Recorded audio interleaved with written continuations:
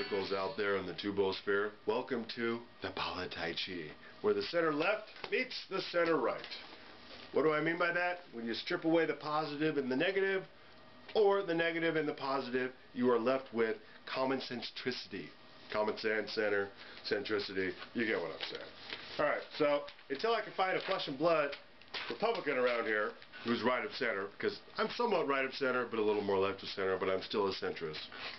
Our co-host is going to be an over 100-year-old from the Meiji Restoration period. It was depicted quite well in The Last Samurai, of which some of you may have heard of. Ken Watanabe playing Katsumoto was a real figure.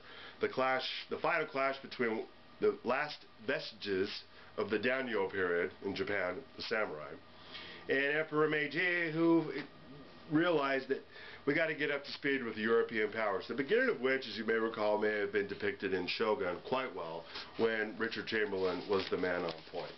So this statue, being a music box doll, I like to think of more as a representation of that period, which it's from. We're always going to start off with a little bit of a humorous clip. I'm not, I'm not ever going to know which show from MSNBC this is going to come up from, except to say this show is copyright to the Polit'ai Chi. With brief video highlights courtesy to MSNBC or NBC News. The O, the OMSR. Yeah, we're doing this show from the same stage of the OMSR, which you may have never seen. That's not important. The Polit'ai Chi does not own these video highlights, but does own all of the other original content and the overall concept herein thereof. Therefore, Down AJ most rights reserved. Alright. Humorous clip. One, roll.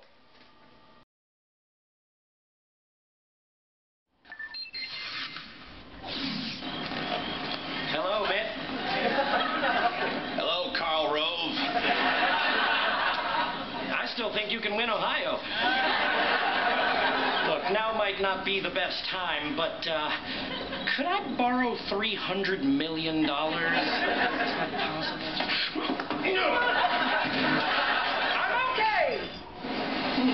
Karl Rove got the Saturday Night Live treatment this weekend, and last night The Simpsons weighed in, mocking Rove's Ohio meltdown, with Bart writing on the famous opening chalkboard, I will not concede the election till Karl Rove gives me permission.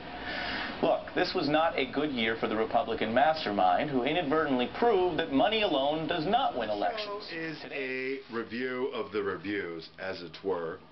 Been watching politics for 10 years. This is my manifestation of trying to make real the idea of blogosphere.com back in 2004. Yeah, that was me. Didn't do anything with it. Went and joined the law firm.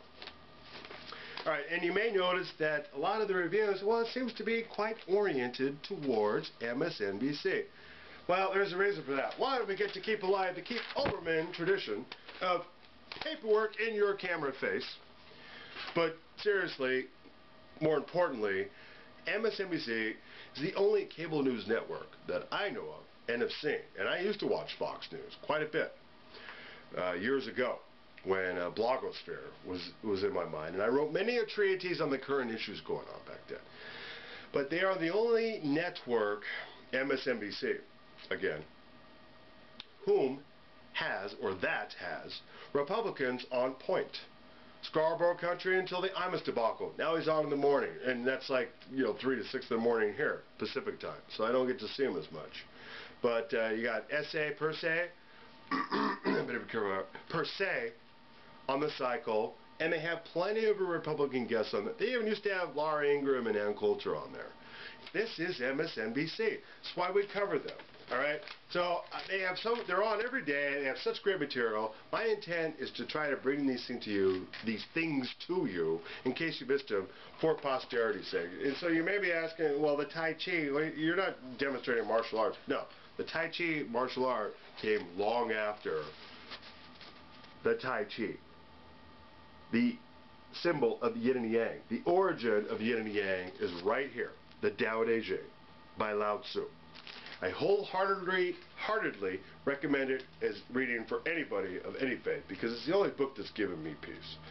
And it's not so much a religious or organized religion kind of a book. It's more of a spiritual, philosophical guideline as to how to get along with everyone and everything in The universe. All right, so I've set it up. So at the end of each show, uh, I'm going to try to read a, a, a, a bit of wisdom from the Tao Te Ching and also quote something from myself that represents the right of center since she can't talk because a lot of times MSNBC does represent the left of left of center or just the slightly left of center viewpoint. The only Republican talking points you might get is vis-a-vis the guests. So I'm going to prove that I'm a little bit right of center and present things to you such as it may come up. The FBI concluded after the final interview given by Paula Broadwell that there was no basis for criminal charges. Officials tell NBC News that National Intelligence Director James Clapper was told about the investigation the following week on Election Day. Clapper informed the White House the next day. Officials say it was not until Thursday, November 8th, however, that President Obama was first notified and met with Petraeus, who then offered to resign. The president accepted that resignation on Friday, the same day that leaders of the House and Senate Intelligence Committees first learned of the entire affair. California Senator Dianne Feinstein chairs the Select Committee on Intelligence, and she joins me now. Senator, why did you and your colleague on the House side, Mike Rogers, Congressman Rogers, not know about this for all of these months? Because a decision was made somewhere not to brief us uh, which is atypical.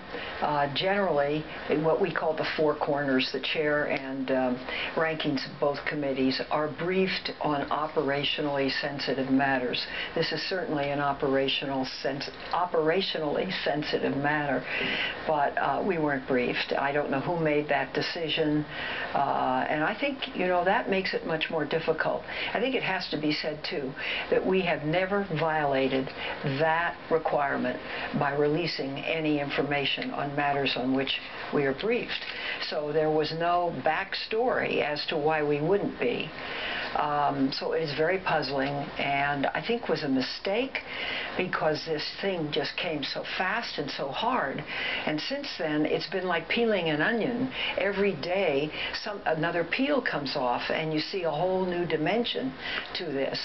So my concern has actually escalated over the last few days and um, we're putting in place a process, uh, meeting with the committee, uh, spelling out that process process and beginning uh, this the, in two days, three days. And the CIA director. Well, not and only you were that, never informed. but an FBI agent apparently took it upon himself to go to members of the House and tell them and this was outside of the general line uh, of information.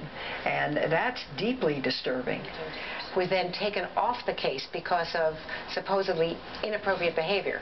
He then was concerned at some point that the investigation was not proceeding. He was perhaps thinking there was a cover-up, and he went to the House members. So it was actually Eric Cantor, the majority leader, who was told about this at least 10 days before the President of the United States. How does that happen? And before you?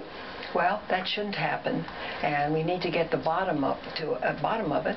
If it is as you describe, then I think disciplinary action is in order. But I can't prejudge it, and you know I have great respect for you, uh, but we have to find this out as fact, and, and things will go on. And finally, you've said that you should have been told earlier. Should the president have been told earlier? Oh yes, absolutely. Absolutely. You know, you cannot keep these things from the people who hold the responsibility for oversight. You have to know, what if something else happened and this never came to light and then down the path something resulted from it?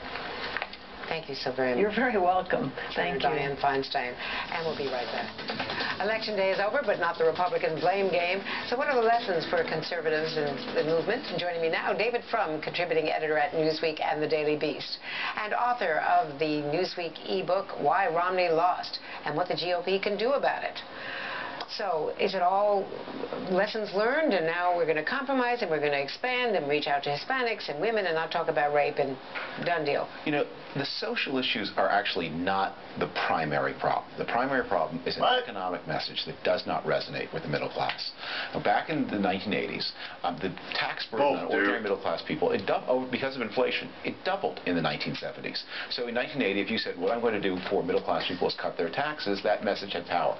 Today, 80% of Americans pay more in payroll tax than in income tax, as Um, and the tax cut as the whole of the economic message doesn't resonate in a world of stagnant wages, rising healthcare costs, rising college tuition costs. If you don't have answers on that, you're not talking to Americans. No, but the, what, what, here's what I worry about. I worry that there are a lot of upper class Republicans who are willing to say, if we combine our existing economic message with a new line on immigration, we're done. It's all good. The point is, why should Mexican Americans vote Republican? Mexican Americans as a group are poorer than normal. Uh, and immigration is a threshold issue, and certainly, obviously, you shouldn't insult people and you should refrain from treating them with disrespect. But after, after they say, okay, you're no longer insulting me, now make your case. What's your... Uh,